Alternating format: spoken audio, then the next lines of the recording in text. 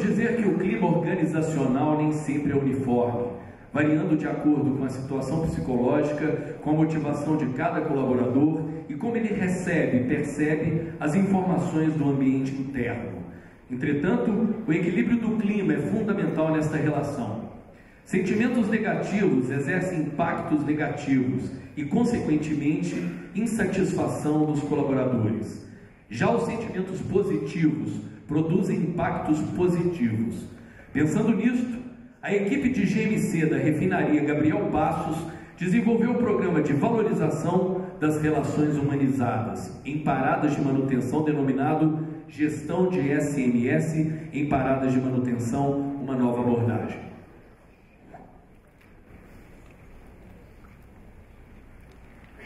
Apresento os componentes do Grupo de Melhoria Contínua da Refinaria Gabriel Passos. Marcos Lima, técnico de segurança. Wesley Queiroz, engenheiro de equipamentos. Estevão Teles, técnico de operação. Tiago Lage, técnico de operação. E eu, Leander Rezende, engenheiro de segurança. Parada de manutenção. Bem, vejam, uma analogia, eu vou explicar o que é uma parada de manutenção. A parada de manutenção é como se fosse um momento em que levamos o nosso automóvel à oficina de uma concessionária para fazer a revisão e para fazer os, os reparos nas peças que estão desgastadas. Na refinaria, a parada de manutenção é o momento em que uma das unidades de processo interrompe a sua operação. E empresas de diversas disciplinas de engenharia de manutenção adentram o nosso site, com a sua mão de obra vinda de todas as regiões do país. Não é incomum, num período de 20 a 30 dias, registrarmos um aumento de 2 mil a 3 mil pessoas na refinaria Gabriel Passos. Sem dúvida, eu posso dizer para vocês que a parada de manutenção é o evento mais importante de uma refinaria de petróleo. As diretrizes da parada de manutenção são três: maior segurança, menor custo e menor prazo. Nosso trabalho está principalmente focado em SMS, segurança, meio ambiente e saúde. A metodologia que o nosso grupo escolheu para o trabalho foi o MASP aliado ao PDCA. Nós iniciamos na fase de identificação, nos debruçamos por, em cima de três indicadores: homem-hora exposto ao risco, acidentes sem perda de tempo, que é um indicador que monitora ocorrências de acidente com menor gravidade e acidentes com perda de tempo, é indicador que monitora ocorrências com lesões de maior gravidade. Aqui mostra os dados acumulados do, dos indicadores de acidentes. Né? Esse, esses dados ele mostra que a partir do ano de 2007, acidentes com perda de tempo, lesões com maior gravidade, esse indicador ele atingiu um patamar ótimo de zero ocorrência. Entretanto, acidentes sem perda de tempo, a partir do ano de 2006, ele passa a flutuar entre 10 e 11 ocorrências por parada de manutenção. Essa é a nossa anomalia, a resiliência do indicador, o indicador resiliente. Comento a vocês que os dados nesse gráfico estão acumulados até o ano de 2011, uma vez que não houve parada de manutenção em 2012, e o nosso trabalho buscava uma melhoria contínua a ser iniciada na parada de manutenção de 2013. Uma das ferramentas complementares que utilizamos foi a pirâmide de Frank Bird. Esta é uma ferramenta estatística muito conhecida na engenharia de segurança. Suas várias camadas se interrelacionam estatisticamente com os eventos que estão associados a elas. É a mesma coisa que eu venho a dizer, que um local onde você esteja desenvolvendo um trabalho num determinado tempo, onde você tenha 30 acidentes com danos materiais, implica que estatisticamente existe uma grande, uma grande probabilidade que você tenha 10 acidentes sem perda de tempo ou até mesmo um acidente com perda de tempo. A Petrobras é, complementa essa ferramenta estatística com uma camada de administração de desvios. Desvios são falhas, falhas humanas que figuram na, na quebra de um procedimento. Dou um exemplo que seria deixar de utilizar o equipamento de proteção individual adequadamente, ou, de alguma forma, fazer uma improvisação nas ferramentas de trabalho. São, são exemplos de, de uma, uma gama muito extensa que pode ter de desvios. Então, passamos a fase de observação, executando uma técnica de brainstorming para tentar encontrar as prováveis causas do indicador resiliente. Executamos o diagrama de Ishikawa já na fase de análise e fizemos a priorização das causas encontradas com a matriz GUT. A matriz nos deu as três linhas do nosso trabalho, que são trabalhar nas lacunas do sistema de treinamento, trabalhar nas oportunidades de melhoria na gestão de segurança e trabalhar com o fator pessoal de insegurança. Fator pessoal de insegurança são causas comportamentais que figuram, que levam à ocorrência de acidentes. Daí, já na nossa, entramos para a fase de planejamento de ação e fizemos o nosso plano de ação utilizando a, técnica 5W1H. As principais ações do nosso trabalho, é, vocês vão ter a oportunidade de conhecer agora na fase de execução. CPS, Comitê Permanente de Segurança. Bom, esse comitê, na verdade, ele já existia na refinaria Gabriel Passo há mais de 10 anos. O que nosso grupo fez foi aprimorar e dar mais celeridade para esse CPS. Como funciona o Comitê Permanente de Segurança? É um comitê que é delegado pela Gerência Geral da Refinaria, onde envolve a participação das diversas especialidades envolvidas na parada, como o pessoal da engenharia, da manutenção, da produção e da segurança industrial. Ele é regido por 10 variáveis essenciais, como se fossem 10 regras de ouro. Ele sempre é acionado quando alguma atividade da parada de manutenção vai infringir uma dessas regras de ouro. Esse comitê se reúne e dali vai sair a deliberação para ser tratada aquela ação durante a parada de manutenção. Um, um outro papel desse comitê é a questão de se reunir toda vez no caso de ocorrência grave. Ele se reúne imediatamente para poder tomar decisões acerca de ações para mitigar aquele tipo de ocorrência na parada. Investigação flash. Já na fase de análise, nós identificamos que era necessário dar mais celeridade ao processo de investigação. A parada de manutenção normalmente ela acontece num prazo muito curto, um envolvimento muito grande de serviço. Então, às vezes, a, as investigações acabam ficando prontas no final da parada. Então, nós criamos um método de investigação chamado FLASH, onde toda ocorrência de parada ela é investigada imediatamente após é, a ocorrência.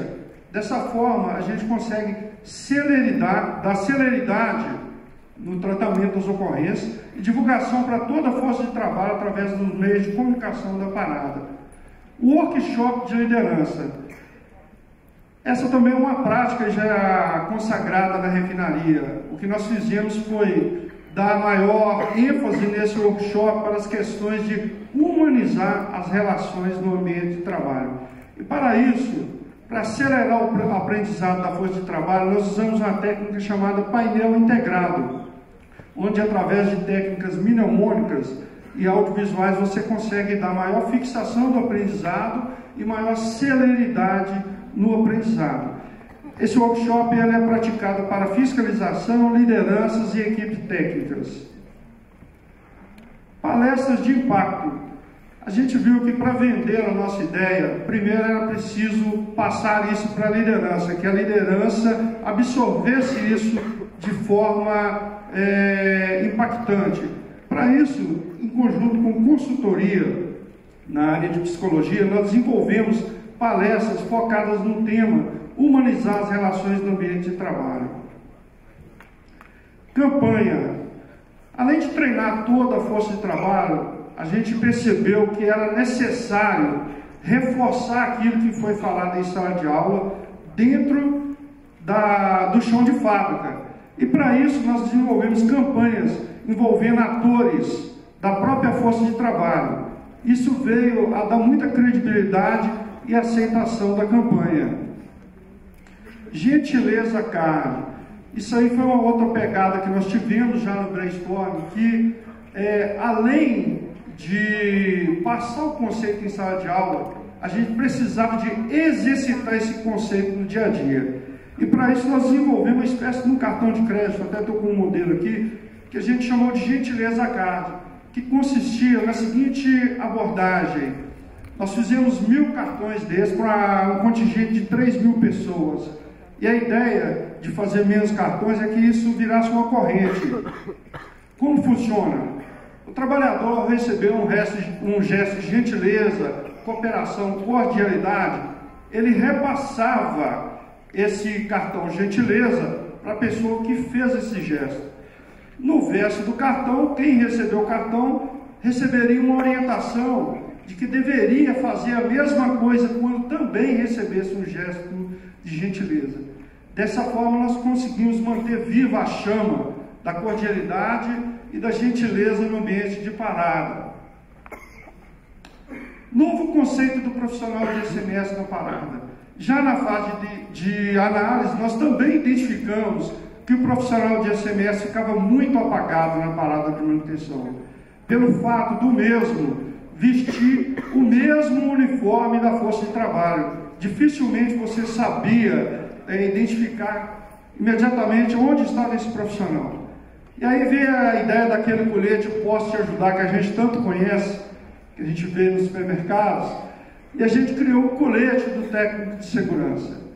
Mas antes de dar o colete, nós chamamos todas as empresas nas reuniões iniciais, e juntamente com a gerência e os prepostos, nós fizemos o seguinte acerto: olha, o seu profissional não vai ser o profissional da sua empresa, ele vai ser o profissional da parada de manutenção.